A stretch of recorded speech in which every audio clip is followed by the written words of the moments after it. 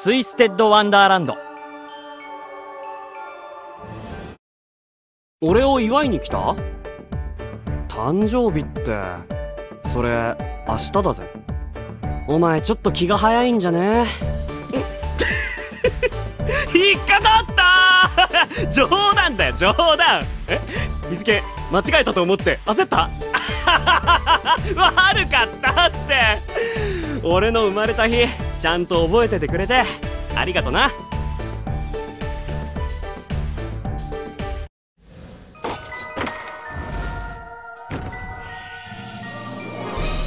帽子をかぶってお着替え完了っと。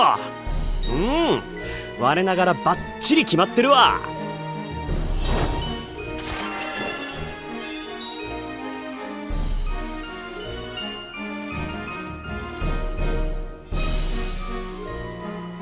さーて思いっきり楽しみますか。年に一度の特別な日。味わい尽くさないと損じゃん。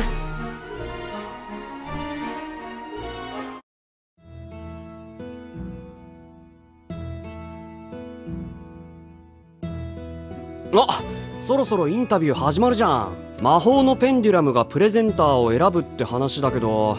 さーて誰が来るのかな。それでは正解の発表です。おこの声は？今日は僕がプレゼンターを担当するよ。お誕生日おめでとうエースくん。エペル！お祝いサンキュー！堅苦しいインタビューは回避できそうでよかったわ。お互い気楽に話そうぜ。うん。今日はよろしくねエースくん。じゃあインタビューを始めるよ。最初の質問は飛行術は得意ですか？不得意ですか？俺ら入学したばっかじゃん。まだ得意も何もないっつうの。そうなの？エースくんは器用そうだし上手に飛べると思ってた。器用ってのは間違ってないぜ。けど飛行術に関してはもう一歩って感じかな。1年の初回の授業ってほうきを浮かせる内容だったじゃんあれもできるまで時間かかったしこの前もグラウンドに引かれた白いテープに沿って飛ぶって課題が思った以上に難しくってさ。ああその課題は僕のクラスでもほとんどの生徒が苦戦してたよ。あやっぱり？1年ってみんなそんな感じなのかね。俺のクラスもぐにゃぐにゃってヘビみたいな動きでテープから反れるやつが大半だったわつってもだいぶコツはつかめてきたし俺飲み込み早いから少し真面目に練習すればパパッと上達すると思うけど。すごい自信だな。そういうお前はどうなんだよ。テープに沿って飛ぶ課題まっすぐ飛べた？ふふん実は僕その課題クラスで一番いい評価をもらったんだ。えマジですげえ！エペルって飛行術得意なの？ほうきで飛ぶのはね実家で高いリンゴの木になった実を収穫するときに使ってたから。へえあじゃあさ今度俺にうまく飛ぶコツ教えてよ。え僕でいいの？だってさ先輩相手よりお前に教わる方が色々質問しやすいじゃん。うまく教えられる自信はないけどエースくんがいいなら頑張るよ。やったー！サンキューエペルインタビュー終わった後にでも予定決めようぜ。うん。エースくん得意じゃなくても飛行術は好きみたいだね。あーまあそうね。おとなしく机に向かってるよりも体動かしてる方が楽しいし。それに先輩たちが授業でターンとか宙返りを決めてるのってかっこいいじゃん。ああいう風に飛べるようになったら飛行術最高って言えるようになるかもね。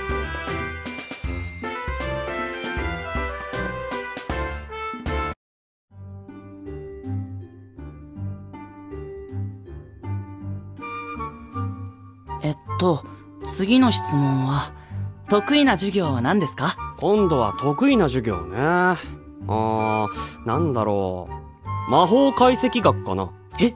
魔法解析学？僕は苦手な方だからすごいな。この授業苦手意識持ってるやつ多いよね。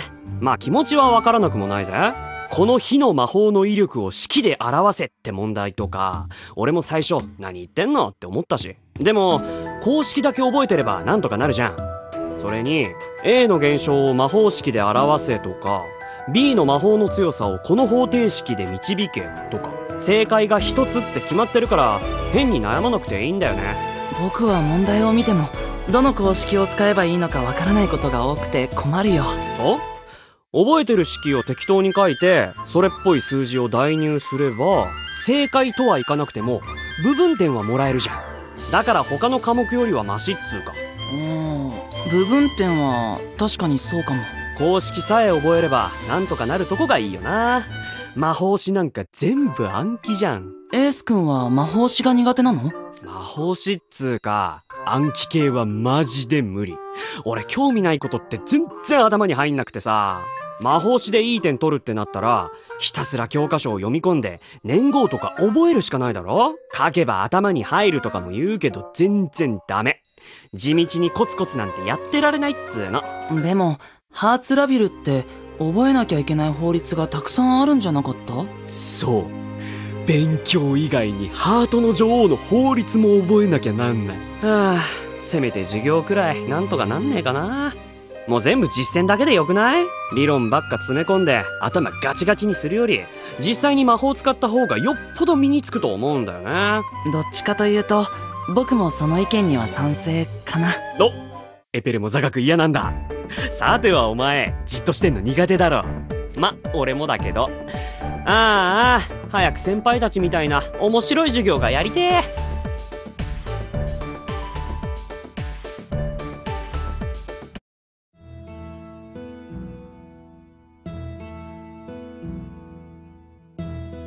じゃあ最後の質問。休日の過ごし方を教えてください。これは僕も気になるな。エース君お休みの日はどんなことをしてるの？そんな特別なことはしてねえけど。寮にいる時は部屋でゲームしたりクラスのやつに借りた漫画を読んでることが多いかな。でもずっと部屋にいたら飽きるし麓の町にもちょくちょく行ってる。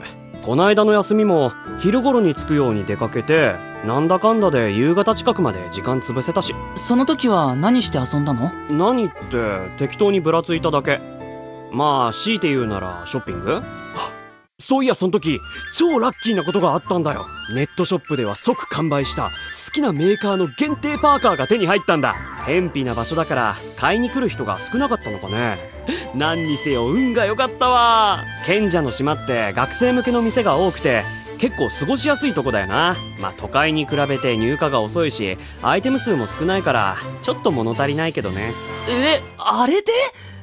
僕なんかいろんなお店があってすごいって感動したのに。あのレベルですごいってお前どんなとこに住んでたんだよ。どんなとこって。いや今はエース君のインタビューだから。買い物以外は何をしたの？うーんあとは昼飯にハンバーガー食べたくらい？地元でよく行ってたチェーン店が島にもあったんだよ。看板見たら無性に食いたくなって。でも同じメニューでも微妙にソースの味が違ってさ。こういうのって地域差があるのかね。他のメニューも試してみたいんだよね。そうだ。今度お前も一緒に行こうぜ。うん行きたい。ソースの味の違いとかはわからないと思うけど。違いがわからない？あれ？エペルってあんま食い物に興味ない感じ？そういう話じゃないよ。僕の住んでた村にはハンバーガーを食べられるお店がなくってさ。車で街に出た時に何度か食べたくらいだからソースの味なんて覚えてないよ。は？マジで？あんなどこにでもあるようなチェーン店がないとか。びっくり。でも納得したわ。だから麓の町レベルで感動したわけね。でもまあそれはそれで連れて行く甲斐があるか俺のおすすめメニュー教えてあげる。お疲れ様エースくん。これでインタビューは終わりだよ。この後はバースデーロードをほうきで飛ぶんだっうん。はいこれ。エースくんのために用意されたほうき。けおお何これ？穂がブーケみたいになってる。赤い花が多く使われてて華やかな雰囲気だね。このほうきで飛んだらすごく目立ちそう。かっこ悪いところを見せないように頑張ってねエースくんそんな無様な姿は見せません。俺本番に強いタイプだし。よった。それじゃみんなの前に華麗に登場してやりますか。